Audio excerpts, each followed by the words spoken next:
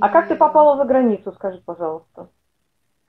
За границу это тоже была история, в общем, очень такая эм, эм, страстно-драматическая, можно сказать. Эм, дело в том, что э, я училась у одного педагога, э, которая в свое время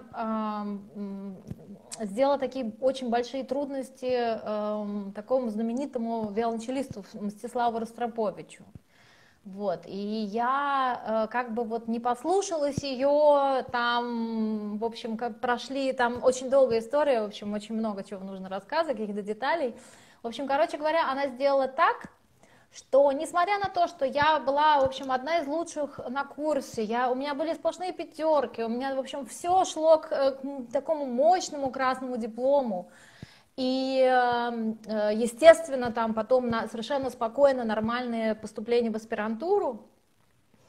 Она сделала так, что э, мне на камерном ансамбле, где она была зав. отделом, ну, в общем, там считали, считали, считали, считали. Она еще несколько там вот педагогов, которые э, с ней очень хорошо там контактировали. В общем, мне, нам, нам все равно потом выходило 5 с минусами. И там они считали еще дальше. И все, в общем, получилось каким-то образом 4 с плюсом.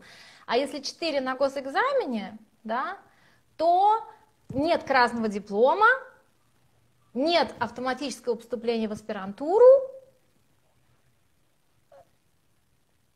кранты. Ну вот.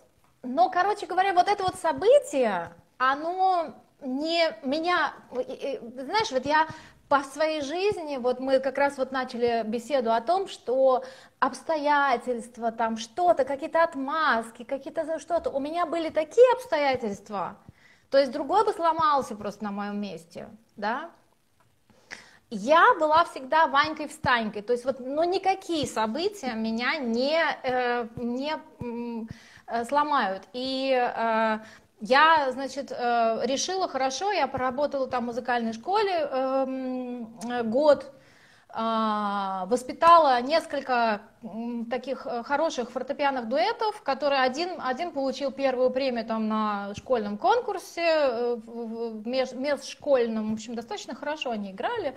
В общем, я и там тоже э, засветилась, да. И э, я решила, что э, как раз вот к, к этому времени я получила еще свою премию на конкурсе в Италии, вот, и меня пригласил э, один очень хороший педагог, Александр Макаров э, Гольд, Гольдфедер, но он Голд хочет называться. Вот, э, он пригласил меня в, в Голландию учиться. Он сказал, что ты знаешь, ну, в общем, если такие обстоятельства, да, то тебе все равно откуда искать педагога дальше, чтобы учиться, да. Приезжай ко мне, если понравится, как, в общем, если мы сойдемся характерами, да, и, в общем, тебе понравится, то останешься у меня, если нет, то уже из, эм, э, из-за границы, как бы, да, из Голландии уже легче там по Европе искать, э, куда тебе э, поехать учиться еще. Вот, и это было колоссально, то есть я вообще не только э, там подождала, искала, то есть я у него очень многому научилась, а потом еще поступила как раз вот в Мюнхен, э, еще в следующую аспирантуру, потому что я получила как бы стипендию от Голландии, я с отличием там закончила, и мне дали еще стипендию одного фонда для обучения за границей.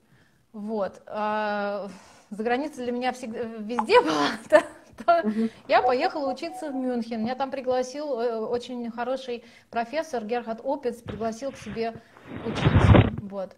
И вот так вот я осталась в Германии, потому что мне сразу после обучения э, ректор предложил преподавательское место, но я, конечно, в общем, не, не, не отказалась от такого